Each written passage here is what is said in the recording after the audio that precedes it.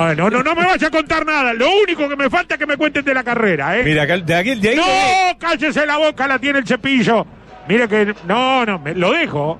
Me voy. La va tocando por un costado Brunelli. Va para Gargano, Gargano para Brunelli.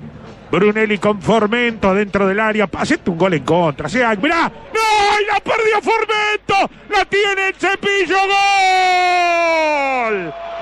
¡Gol Peñarol! El cepillo González, hacete un gol, Formento. No pensé que me hiciera caso, te juro. No pensé que fueras tan, tan, tan buen tipo y me hicieras caso de esta manera. Perdió la pelota en la salida River. Eh, Pero esto estaba clavado. Estaba clavado, Jorge. Perdió la pelota en la salida. El, el equipo de River se la dieron a Sebastián Rodríguez. La metió al medio para el cepillo. El cepillo tuvo que esperar que alguien venga para darle un poco más de emoción. Pasa a ganar Peñarol 1 a 0. Lo hizo el cepillo González, pero habría que dárselo a River. 13 a 0. Si no lo sentís, no lo entendés. Si lo llamamos atracción fatal, ¿está bien? Porque fue una fatalidad justamente para River lo que acaba de ocurrir. Esa insistencia en ese juego de atracción, de tratar de llevar al rival ahí a su zona y sorprender con un pelotazo, no hizo otra cosa que el error. Lo llevó a Formento al error, le roba la pelota a Sebastián Rodríguez, se la da el cepillo que podía haber ingresado hasta caminando con la pelota al arco de River Plate. Sorprendentemente, en un partido malo, una vez más, Peñarol se pone en ventaja. Juega la pelota Cristóforo con Sebastián Rodríguez. Va por el sector central, pasa a la mitad de la cancha, mete para el cepillo. Devuelve bien para el cabecita. La pelota para Valentín. Está en el área, centro está. ¡Gol!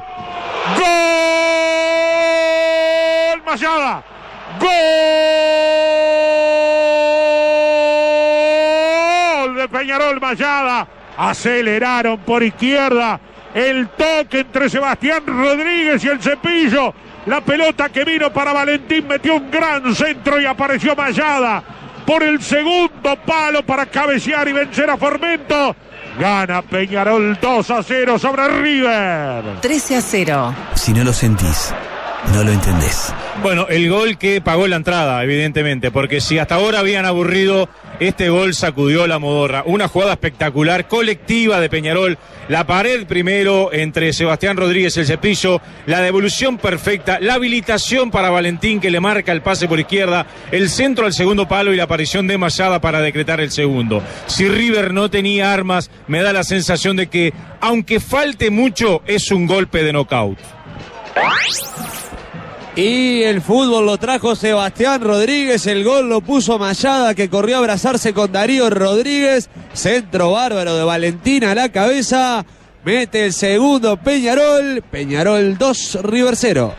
Punto uy. Va a buscar la pelota Michael Cabrera, marca y saca Valentín. Valentín para Arezo, pica Valentín por el medio, la lleva Arezo, tiró.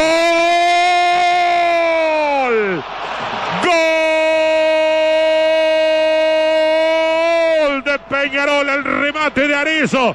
Se desvió en el camino, lo descolocó a Formento y la pelota entró contra el palo derecho.